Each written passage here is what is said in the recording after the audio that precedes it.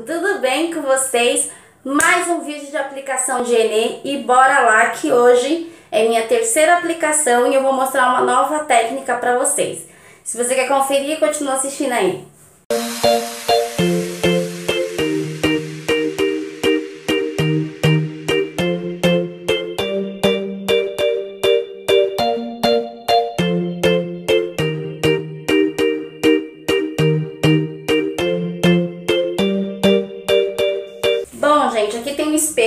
Eu olhar assim é porque tem um espelho. Eu tô com meu cabelo semi-escovado, tá? Porque eu escovei ele agora no final de semana, então ele tá mais ou menos escovado. Hoje eu vou usar a técnica do cabelo já escovado e pranchado, porque eu assisti alguns vídeos que tem as meninas que tinham dúvida. Será que realmente é preciso ali, é, escovar e pranchar o cabelo depois de passar o Enê e antes de passar o Enê. E eu vi um vídeo da Pitu, onde ela tira essas dúvidas. Se você não conhece a Pitu, eu vou deixar o link do canal dela aqui embaixo, apesar que se você usa Enê, é muito difícil de você não conhecer a Pitu. E ela fala nesse vídeo que sim, os fabricantes mesmo falam que é interessante sim, que se você está no processo de alisamento, você escovar e pranchar o seu cabelo antes de passar o produto e depois de passar o produto. É opcional, gente. Tem gente que acha que agride muito o cabelo e não gosta de fazer. Eu vou tentar fazer essa técnica hoje, que semana passada, aquela semana lá, né? Foi do cabelo úmido. E eu gostei muito da técnica do cabelo úmido. Achei que ajudou muito, evitou muita sujeira e deu um alisamento bem legal. Então hoje a gente vai usar essa técnica do cabelo já escovado e pranchado. Tá meio assim, né, gente? Porque já tem alguns dias, mas ó, como vocês podem ver, ele tá semi-escovado. Então, a gente vai começar a aplicar. Pra isso eu vou usar luvas, né? Porque ninguém merece ficar com a mão manchada. Apesar que eu não gosto dessa luva, eu gosto daquela luva preta, sabe? Que é bem grossa. Só que eu não achei, aí eu comprei essa luvinha aqui mesmo. Mas é isso aí. Eu vou aplicar no meu cabelo inteiro. Não tem segredo, né, gente? É só pegar e dividir o cabelo por mechas, como eu já mostrei nos outros vídeos. E vai aplicando o produto no cabelo normal, tá? Depois eu vou vir lavar como eu já falei pra vocês como que eu já lavo e tudo mais. E aí eu só venho aqui pra mostrar a hidratação pra vocês e mostrar o resultado final da minha terceira aplicação, pra vocês verem o resultado. E aí, gente, eu vou lavar, né, de, como de costume, e venho aqui mostrar o resultado pra vocês. Também vou mostrar pra vocês a hidratação que eu tô fazendo dessa terceira aplicação, né, que ainda estamos no processo de hidratação, porque são, são eu vou fazer três hidratação, depois hidratação, hidratação e nutrição e assim vai, tá? Então eu vou fazer aqui e depois eu vou mostrar o resultado pra vocês, beleza?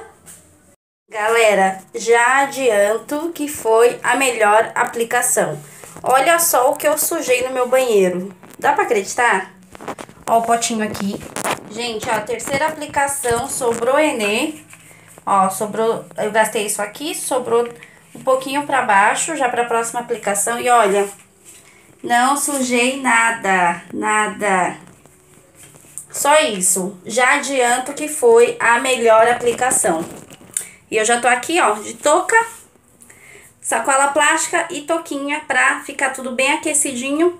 E é isso aí. Agora vamos deixar por uma hora. Deixa eu eu filmar assim. É. Agora vamos deixar por uma hora de aqui, né? E aí vamos lavar e hidratar. Beleza? Bom, meninas, agora eu já tô com o meu cabelo lavado, só com shampoo, shampoo não tem nem condicionador.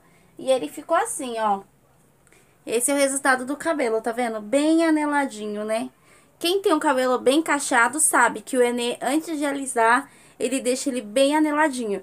Mas como vocês podem ver, o volume já tá bem baixinho, né? E tá bem preto também.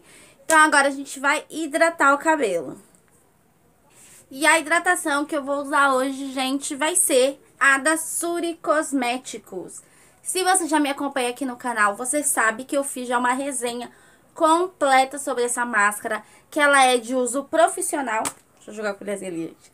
Ela é de uso profissional, geralmente ela só era vendida para salões, só que agora ela está sendo vendida no varejo. Então, se você quer saber todos os benefícios e ações dessa máscara, que eu adorei, ela é muito boa mesmo, gente, não é jabá. Ela é boa mesmo. Vou deixar o link do vídeo aqui para vocês verem.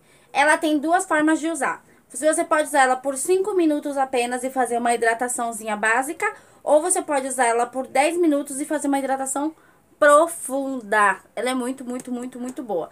Então, vamos lá. Eu vou deixar 5 minutos no meu cabelo, vou enxaguar e venho aqui mostrar o resultado pra vocês.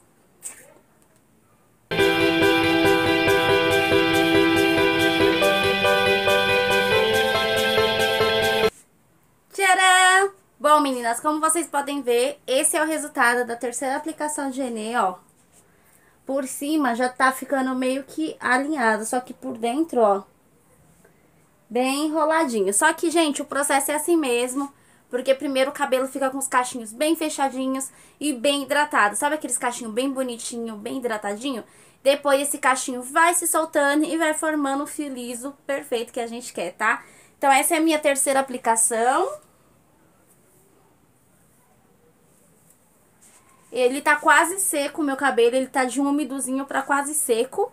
Eu vou esperar ele secar totalmente e aí eu vou pranchar meu cabelo e vou vir mostrar o resultado pra vocês. Mas já adianto que eu gostei demais, gastou pouco produto, não fez sujeira, não fez bagunça e tá super aprovada essa técnica do cabelo já escovado e já pranchado. Gostei demais. Então, bora fazer uma chapinha e vir mostrar o resultado pra vocês. Música